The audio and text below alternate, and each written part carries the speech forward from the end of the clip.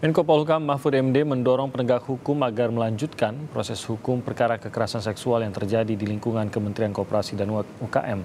Sebelumnya pengadilan menggugurkan status tersangka sejumlah pelaku. Mahfud menyebut pemerintah tetap menghormati putusan pengadilan negeri Bogor sekaligus memahami pokok perkara kasus ini memang belum pernah disidangkan sehingga dimungkinkan untuk bisa diproses ulang secara hukum. Berdasarkan hasil rapat koordinasi, Mahfud juga mengatakan pemerintah mendorong agar Divisi Propam Polri memeriksa penyidik Polresta Bogor yang sebelumnya menangani perkara kekerasan seksual di Kementerian Kooperasi dan UKM.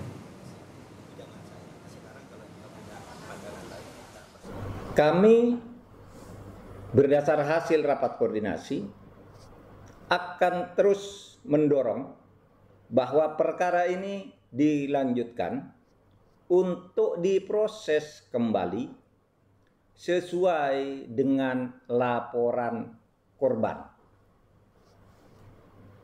Kami paham bahwa pra peradilan belum memutus pokok perkara, belum memutus substansi perkara, sehingga jika proses ini dilanjutkan kembali maka tidak dapat dikatakan nebis in idem karena memang pokok perkaranya yaitu kejahatan sesuai dengan pasal 286 KUHP itu belum pernah disidangkan.